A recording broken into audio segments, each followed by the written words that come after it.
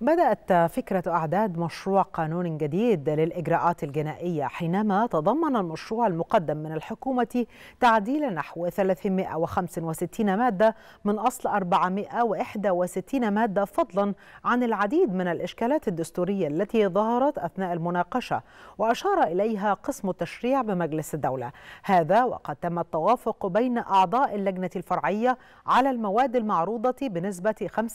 95%